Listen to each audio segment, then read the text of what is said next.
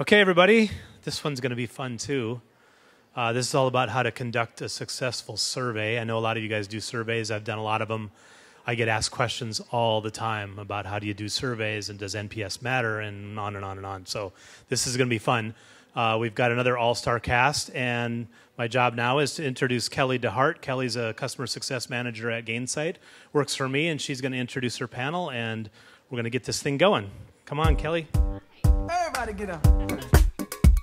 Hi, everybody. Uh, thanks for joining today. Um, we're excited about our panel uh, around how to conduct a successful survey campaign. As I'm sure you guys have seen, uh, this is probably your third one by now. Um, we'll have our esteemed speakers kick us off, and then we will open it up to question and answer at the end. So look forward, forward to answering your questions and seeing what you have to say. With me today, we have Tracey Kaufman, uh, VP of Customer Experience at Booker. We have Nick Einstein, VP of Customer Success at SocialChorus. And lastly, Evan Klein, founder and president of Satrix Solutions. And I'll turn it over to Tracey to kick us off. Great. Thank you so much, Kelly. So, um, I am Tracey Kaufman, and Booker is a SaaS platform for service providers. It's full service, and it helps them run and grow their business. And I won't spend a lot more time uh, talking about it than that. And so, um, oh, about me. Huh, a little about me, yes. So I've been in um, the software industry in one way or another for a little over 20 years, and I cut my teeth at Siebel Systems, and so did a whole bunch of surveys there. And, um, and so I've really been focusing on customer success and SaaS for about the last five years or so, and excited to use Gainsight for surveys. Um, ah, clicker. See, that was that. That was that really important thing. Okay. There we go. That was me. All right. So, one of the things as a little known tidbit about me is that when I lived in California and had a very trusty Subaru um, that would never die, I lusted after an Audi, this one that you see right here. And so I thought what would be really cool, because I never got to buy one because it lasted really, really long, and then I moved to New York and nobody needs a $60,000 paperweight. And so I thought that I would pretend for today's session that I was a new product manager at Audi, and I decided to conduct a survey. Um, the, basically, I you know, was new at this, and so I went to my customer experience department and asked for some help. And I know that you guys have been sitting in the audience listening to things for the better part of the day, so I was hoping you'd give me a little audience participation. So just, uh, I'll ask some questions, we'll see how that goes, but shout out your answer, no need to raise your hands. All righty. So the first order of business is who do you send a survey to? Okay, so that's the first thing you need to know is uh, how am I going to get my sample? And so who thinks I should send the survey to current customers? Okay, how about all qualified car buyers? Okay, anyone else? Anyone else I should send the survey to? Okay, great, great. Did you see my, my uh, presentation beforehand? So the interesting thing about this is that you know you want to make sure when you're when you're deciding who to send a survey to that you're not going to send it to some a sampling that's too narrow because if you ask your current customers what they want you'll know exactly what your current customers want. But i'm assuming you're going to want to send this to other people um, if you ask everybody in the known free world, you're not going to get you know, a really good narrow sampling. So what you should do is exactly as this gentleman said, is you should figure out who your target market is, who you want to sell the new product to, and get a random sampling of those folks. All righty. So the next question is, how do I ask the question? So what if I were to say, which of the following items is most important to you? And I gave you these three options. Who thinks this is a good kind of initial discovery kind of question? Nobody? Ah, you're too smart for me. So basically, no. The problem with this is that, yep, I'm going to get an answer, but it's way too narrow. You'd want to use this kind of a narrow, closed ended survey questioning when you already know. If you really want to have your customers or your, your uh, respondents force rank things that you absolutely know are three choices you want to figure out you know where you make your investment it's fine to do this kind of thing but you notice there's no other. And so let's say you got the answer of price here. Well you don't have anything around you know uh, cargo space or um, whether it's green or not. And so you'll get an answer, but the likelihood of an accuracy is really not. So make sure not to bias your questions. And also, I strongly recommend before you do a close ended survey, you do questionnaire and interviews to get a more under, better understanding what the key value drivers are.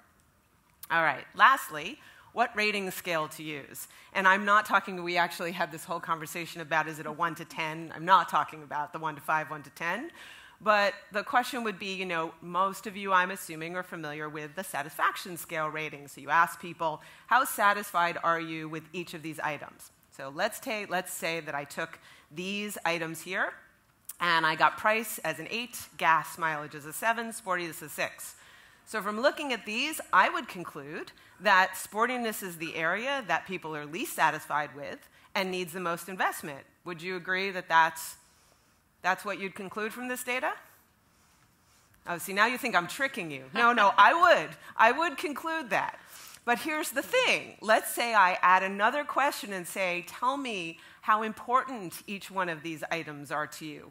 Well, this shows a very, very different story right? Because now you can see that actually, yeah, you know, they're a six with sportiness, but it's only a four important. And so you've got a gap score of a plus two, which in this world means you're overinvesting. Where on the other end of the scale, your price they might have been most satisfied with, but not satisfied enough compared to how important it was. So, one of the things we did is we use this method at Siebel, and yes, it does require that you ask two questions of, the, of every topic, but it really gives you context. And context is extremely important when understanding people's responses so that you know how to interpret them. So, summing up, um, three key takeaways make sure that you're selecting a sample size that reflects your target audience, that the options you're providing are inclusive of the key value drivers for your customers and your prospects and your target market, and that you know one way to provide to provide context is to use a gap rating scale. All right, thank you. Thanks, Tracey. All right, Nick, passing you, the. Uh... Passing the clicker. Uh, thank you, Tracey. It is a pleasure to be here this afternoon. My name is Nick Einstein. Um, I've been doing customer success for, for many years. And uh, how many in this room have had a customer success on their title for the pa- a year ago or two, two years ago? So, so many of us have been doing this for, for uh, some time. I think uh, when we used to tell, when you used to tell your friends what you did, did you kind of get a blank look? occasionally, or, uh, or worse, sometimes a, a chuckle. Um, I am very excited about uh, the development that this space has gone through. Uh, the, today's conference obviously is a, is a, a, a major kind of uh, symptom of that, and extremely exciting times for us. I am vice president of customer success for a company called SocialChorus. Social Chorus uh, allows brands, some of America's top brands, to uh, empower their uh, advocates, identify their advocates, and then empower them to uh, create content, um, consume content, and then share that content throughout their social networks. Uh, what we do is measure those actions that their advocates take. Uh, and, and, then measure the impact that those actions have out in, in the social web, and then report back to our, uh, our customers on, on those actions and, and continuously optimize and um, uh, drive success with our customer base. Um, before that, I did email marketing for about 15 years, so I was in the email space.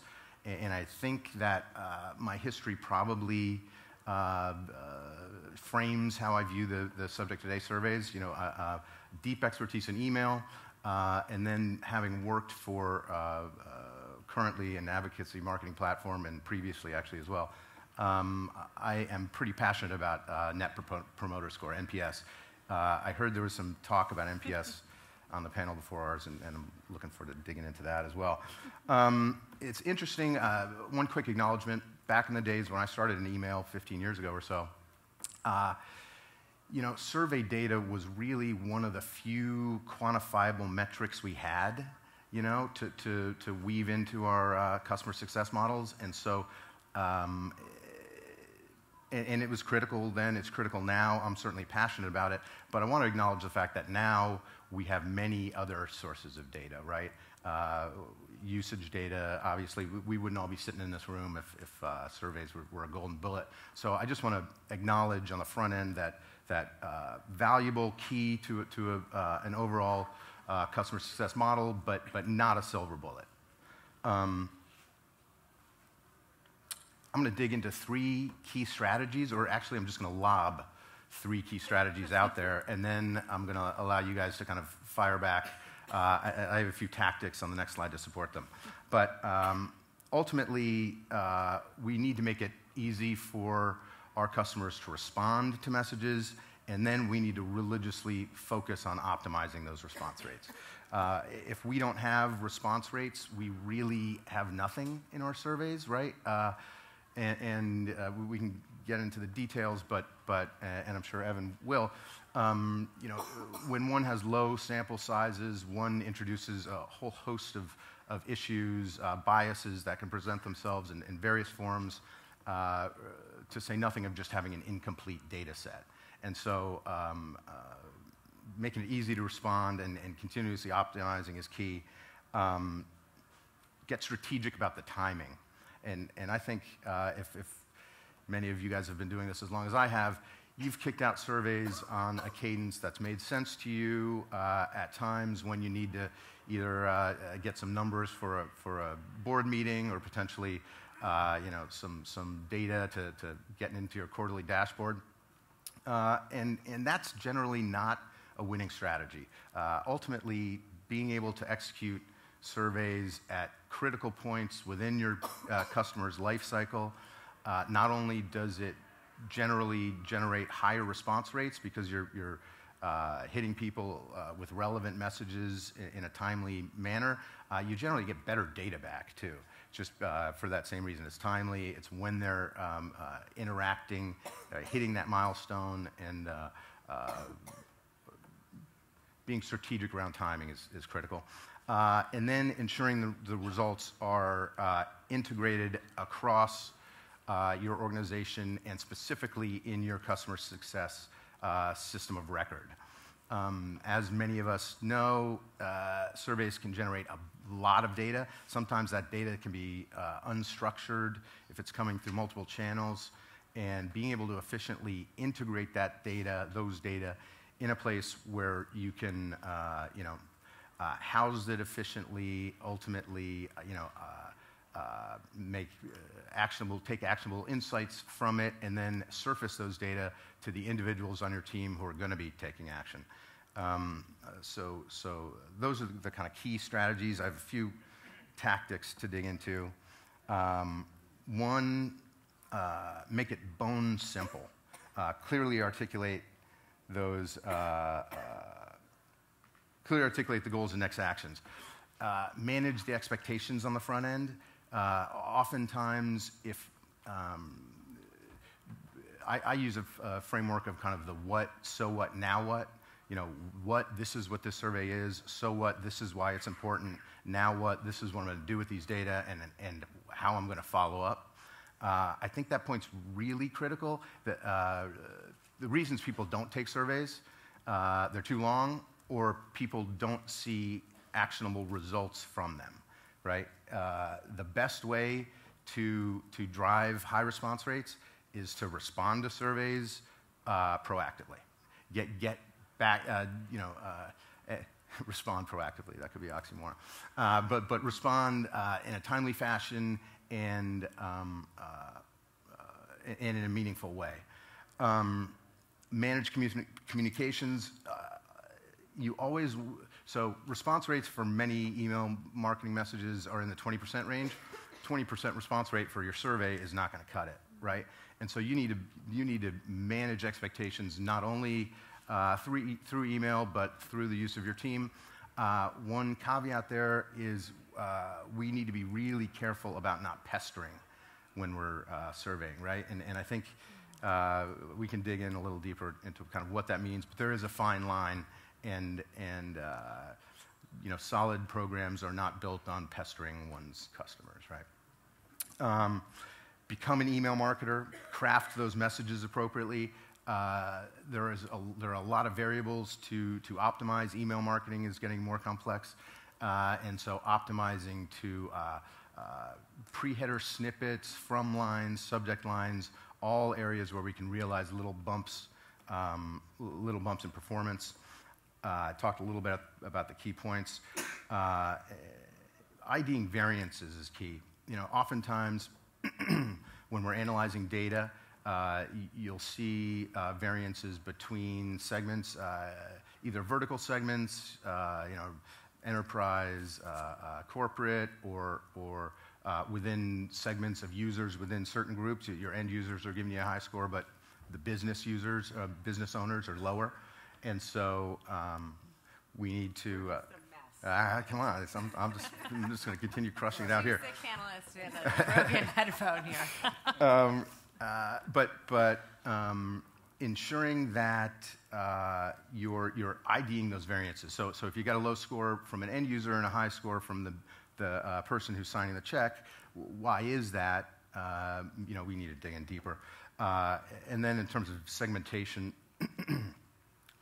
often many of us can get uh, a little carried away with segmentation. Uh, ultimately, we want to be able to, uh, you know, by user, by role, by vertical, by stage in the customer life cycle.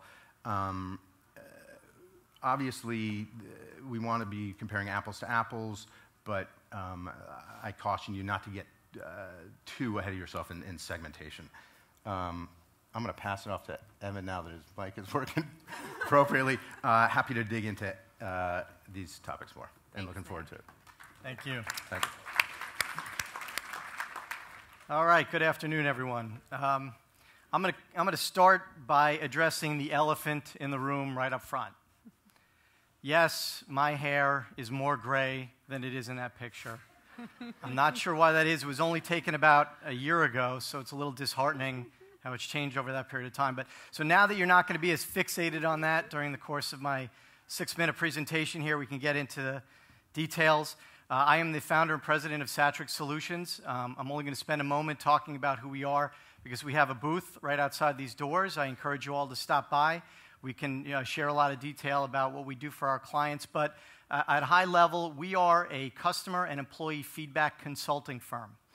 Uh, there are a lot of great software platforms represented here today, including our friends who are sponsoring the conference. We, however, are a consulting organization. We will work with you to elevate the impact of your customer and employee feedback endeavors. And so we work with you through the design, implementation, uh, analysis, reporting, uh, and into measuring the ROI and ultimately drive business outcomes because that's what we're here to do. We want to have an impact on retention, on upsell, on referrals, all of these things that ultimately will drive the top line and the bottom line. That's what these programs are all about. And importantly, we want to build a culture within your company. What I've heard today in, in several of the panels, is, which is wonderful, even smaller companies are starting by seeding the DNA with a customer focused culture. Uh, and that's critical. And continuing to build that culture is an important part of what we do, an important part of your survey program. So I'm going to uh, follow on where uh, Tracey and Nick left off. They did a great job of sharing uh, essentially how you design a survey instrument. Now you've uh, done that in accordance with best practices, you've maximized response rates, you have a wealth of data, you have all of this feedback from your customers. What do you do with it? And so, in our industry, just like in any other, there are uh, acronyms, there's a lot of jargon, there's uh, a lot of terms that are, are bandied about. Um, I'm going to throw a bunch of them up on the screen here, and I'm curious, a show of hands after they all display. There are 12 concepts here. They're all related to the analysis of your data and essentially tying that back to your business outcome. So, of these 12 concepts and a number of acronyms I, I recognize, a show of hands, how many are familiar with all 12?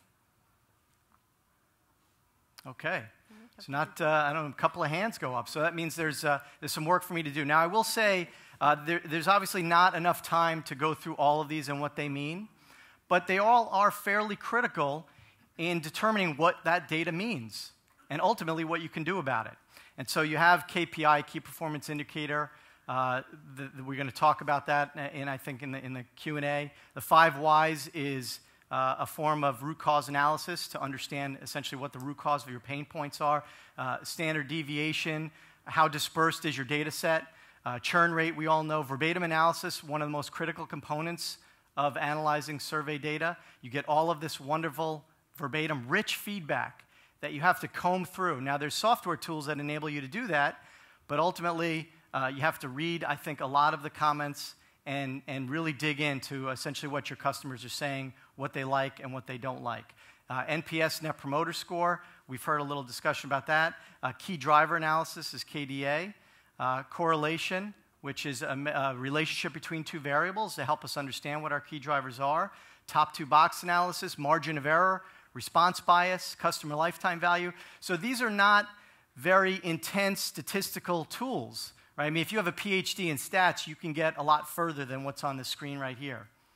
But so I encourage you, to the extent that you're not familiar with some of these, is to you know go on to Google, do some searching. You can go on to satrixsolutions.com. We have some blogs that we talk about some of these concepts. But really, to make sense of all of this wonderful feedback, you've asked for it, you've gotten a lot of great input. it, it is incumbent upon you to uh, analyze it, make sense of it, and turn it into action, and then follow up with your customers. So once we've done the analysis, uh, now we have to share it, right? We have to share it with all parts of the organization. Now, you know, there are some companies that forward an Excel spreadsheet with a lot of data fields in it. Obviously, not the most effective way of doing that.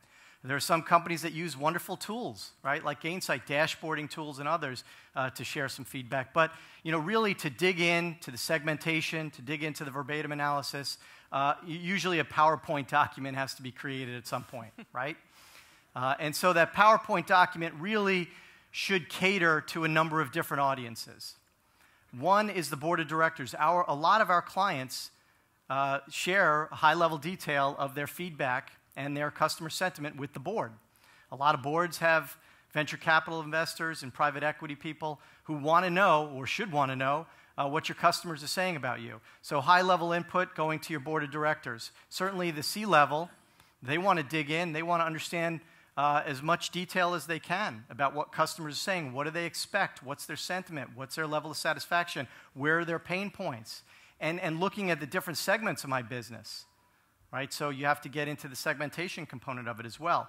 Then you start looking across the organization at all the business leaders that really should leverage your customer data as well. And you can see it quickly gets to a point where, you know, there's a lot of work to be done. Frontline personnel, absolutely, they should have some insight into what the customers are saying because they're the people on the front lines. They have to react and, and remedy uh, any frustrations.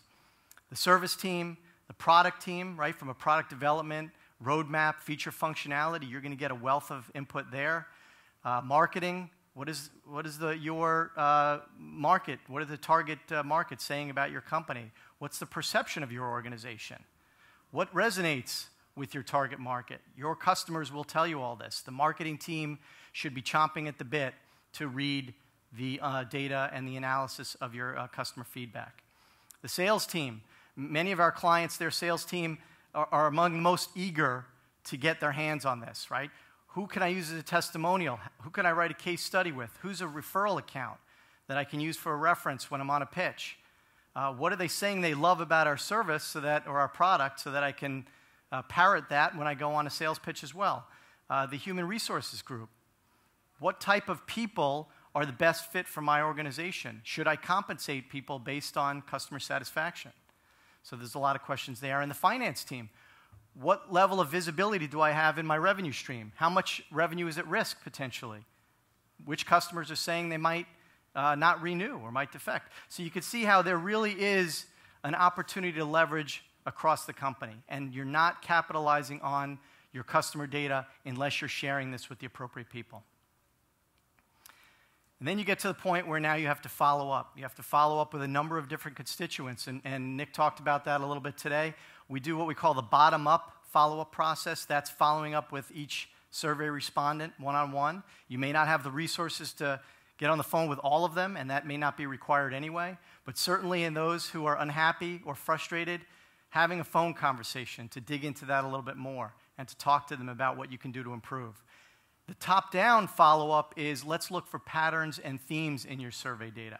What are a lot of customers saying uh, that maybe we can address that'll affect in a positive way a number of our customers? So there's their process improvement, organizational improvement, uh, determination of where we're going to invest our resources. That's top down, whereas the bottom up is on an account by account basis.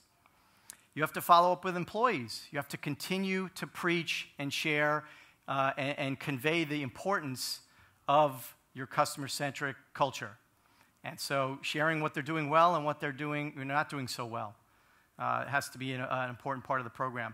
Non responders, if they didn't respond to your survey, there may be a reason why. They may be apathetic, uh, they may be disenfranchised. It may be just because they're too busy, but certainly your high value non responders, you're going to want to follow up with them as well. Uh, and then uh, what I call the public. Some of our clients may uh, post some level of detail about their customer satisfaction, customer loyalty on their website, uh, or they may talk about it in articles uh, or during interviews. So, you know, bandying that about in the public domain is also a nice thing to do and, and set, uh, you know, uh, certain expectations for your target market about where you stand on these issues. A lot of companies pay lip service to it, but very few actually differentiate based on uh, an exceptional customer service. So, with that, we can turn it over to Thanks, questions. Evan. Oh, it looks like we're ready to go. Need no introduction. Maybe just wait one minute. The mic's almost to you.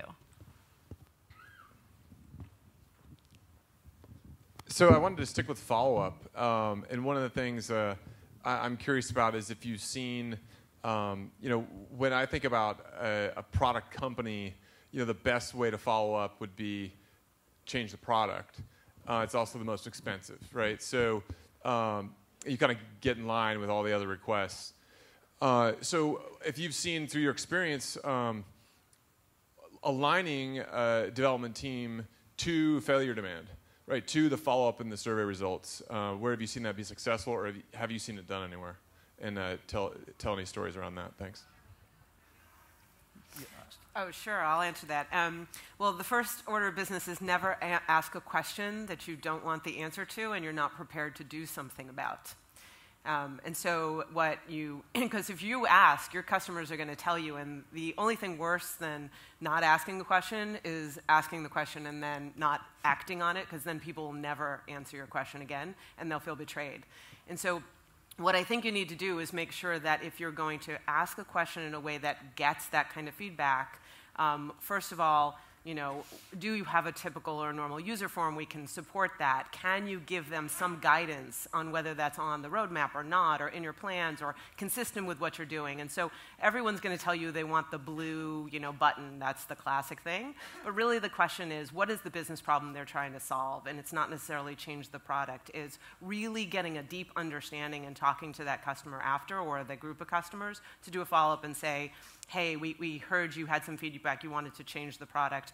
If, if it wasn't clear from their answer, what did they really need from you that the product's not serving? Because I'm assuming that you'd want to address that. Maybe you don't want to solve it the way they solve it. Does that make sense?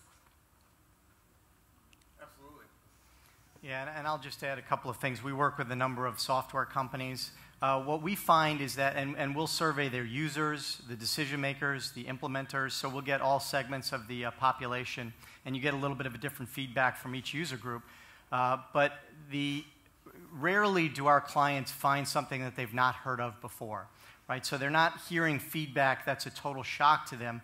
What they are seeing is a degree to which it's more important or less important than they suspected that it was. Mm-hmm. So what they're able to do is move that up or down in the, in the roadmap uh, prioritization process. And so they're able to shift, uh, put something, a feature or functionality enhancement uh, you know, higher up on the list because they didn't realize it was as important. But we have clients that is, uh, will also go back to their customers and say, look, this, I appreciate your feedback. This is not on our roadmap at this time. So they're having an honest discussion with things they're not going to, frankly, incorporate because you can't just, you know, do everything your customers want all the time.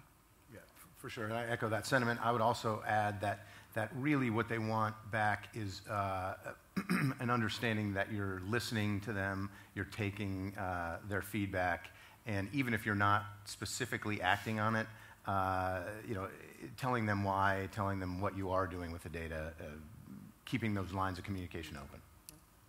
Great. Anyone on this side of the room? I don't want to ignore you. The light's pretty bright. Okay. I think right here. Hi.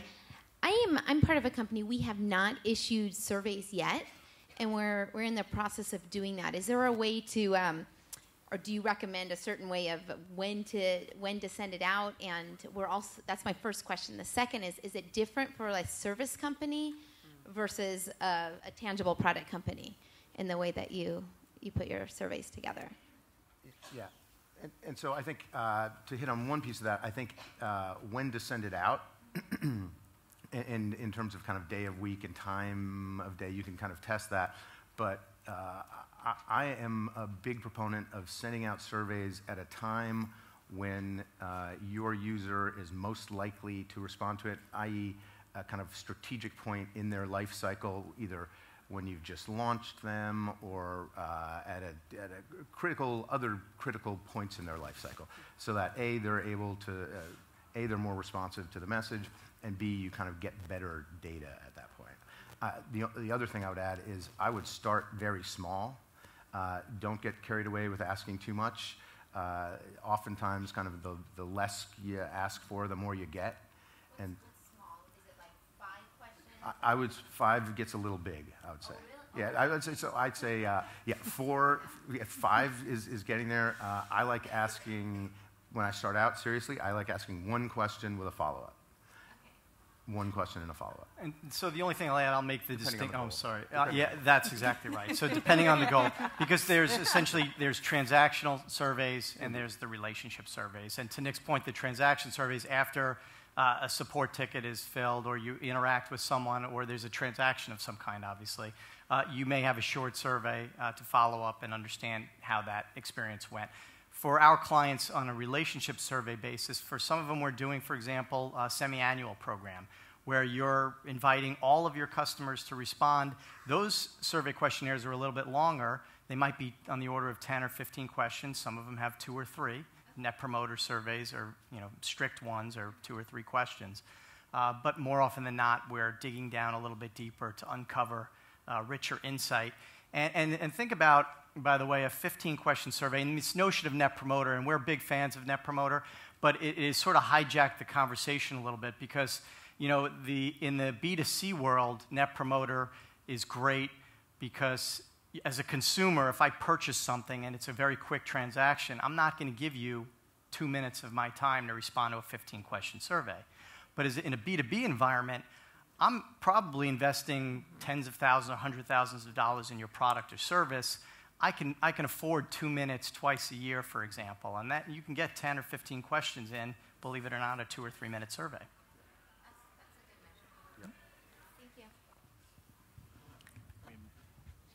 Okay, I think we've got one question right here. Hi, um, to continue that, for the surveys that you do that do include the NPS question, um, is it, do you do it first? I've heard all different things of if you're going to include it in, as part of a larger survey, you want to include it first so they're not biased by the other questions that you've asked. Or, and I've heard that it's better just to include an NPS survey completely separate, just the one question. So, thoughts? So uh, I'll jump on that one because, you know, in, in, many regards, in the research or the survey or feedback realm, there's not necessarily a right or a wrong answer. Uh, in this case, I would actually say there is. Uh, the research behind Net Promoter dictates that it is the first question posed. And the reason is, is that you want this emotional response. It's the top of mind. You're asking about the, the notion of recommending. Am I willing to put my reputation at stake by talking about your organization in a positive manner. It should be the first question. If you're having uh, you know, a longer survey, you know, then you can drill down into the various attributes or components of what correlate or affect you're likely to recommend. Great. Right here.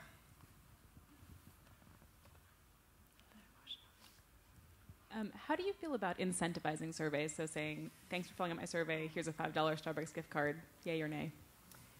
So, so I am really mixed on that one, and I've read a bunch of stuff there. I mean, uh, the, the data in the industry says, sure, that's totally fine.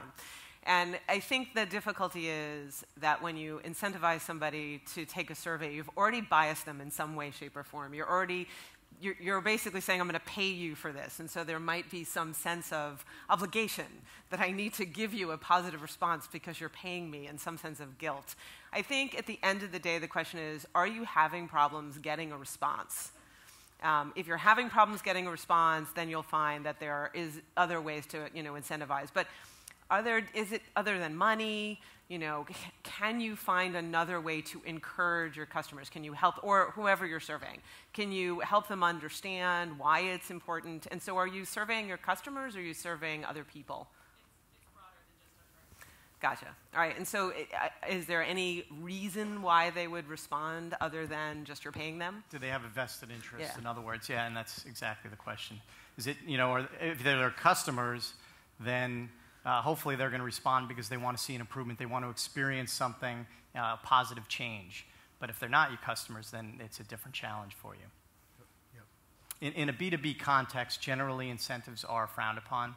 Uh, it's the general consensus. The, what we've seen over the past few years, a trend that I actually uh, I like, is a donation to a charity. Mm. Maybe that's relevant to your organization of you know some nominal amount, but per, per each survey that you receive back, and that generally uh, resonates with customers and other people. And, and, I'll, and I'll tell you, in the B2B uh, scenario, what, what, the best incentive that your customers, uh, I mean, the incentive they really want is for you to take action and, and, listen to them, take action on them. When you can demonstrate you're doing that, uh, that's all the incentive they need generally, and, and really the foundation of a good, a good program. Great question. Let's go on this side of the room. Right here. Hi, um, I had a question about the annual customer satisfaction survey. So I did come from Intuit, uh, where that was like our, you know, go to uh, many years ago, and um, I'm just curious if there still is a place for doing sort of net, maybe the NPS is the new customer sat annual survey that is looking at a data at a slice of time and not across your entire base, as opposed to after a transaction where you're more likely to have maybe a good but biased result. I don't know. Just curious on thoughts. Yeah, I mean, uh, I'll, I'll certainly take a swath. I mean, I think that as long as you know what your goal is, I mean, so if you're surveying people just to survey people to say that I've done this, then whatever. But really, for me, the purpose, sir, every survey has to have a goal at the end. And if you're saying that I'm going to take this and I'm going to use it as a baseline to track it, or I'm going to take this to determine the health of my customer base, that is really useful. Um, and so, it, with every one of these answers, it'll always be what is your objective in doing this, and what are you going to do with the information once you get it? And do are your customers going to feel that there's value? And then also, you know, quick anecdote from the past: don't have your salespeople call them up and say, "If you get, if you give me a ten, then I get a better raise." True story. I won't mention Thought the company. That was a great strategy. right. We, many of our clients, we're doing some cadence to a relationship survey, uh, two times a year, one times a year. Uh, generally, not much more than that, um, but we're layering on uh, maybe a transaction survey, an onboarding survey, uh, something. Because survey fatigue is an issue, but there's absolutely tremendous value in going out to all of your customers, maybe once or twice a year, getting a wealth of input, segmenting it, sharing it, understanding it, as opposed to just this continuous, you know, 20 year, 30 year, 50 year type of thing. Great. So, do we have time for one last question? Oh, and someone already has a mic, so you're the one. Hey there. Um, how many people in here manage, uh, just question for the team and for the group and for the panel. Um, so CSMs, how many CSMs are taking customer sat on as a KPI? How many, how many are measuring against it? I have, I have in the past. Yes. Yeah. In the past. And I will, and I will when I can, yes. Yeah. So compensation tied to that as well? Yeah. Bonus. I, I have indeed, yeah. Yeah, variable, variable compensation tied to some uh, satisfaction uh, KPI is relatively common, but very cautiously applied, right? So it has to be very well thought out. Uh, has to be a lot of education of the staff before you in, engage in this uh, practice. Uh, you don't want gaming, basically. There's a lot of gaming or incenting of bad behavior. And, actually, Tracey just alluded to one of the more common, you know, the car companies begging for scores. Uh, so it has to be done carefully. Sure, sure. And, and, and you certainly don't want to, I mean, uh, customer success is a cross-functional role, right? And, and if, if uh, my CSM is getting nailed based on some product, uh, something on the product side, that's, so, so you got to be clear of those potential conflicts. But uh, when those don't exist, it certainly can be one of a metric that we. And, and, the last thing is don't make it just for your CSMs. I mean, customer satisfaction is not a CSM job. They are the end of the, the process. And so if you're going to incentivize on customer sat, make it across your product team, your marketing team, your sales team. Great, thank you. So that is all the time we have. Um, I, I, recognize there are other questions. Sorry we could not get to everyone. But Tracey, Nick, and Evan will be around. Perhaps you can find them at the happy hour after this next session and have a drink and ask them those questions in person. So thank you for joining. Thank you so much, my panelists. You guys did a great job. Thanks, you guys. Thanks, everybody.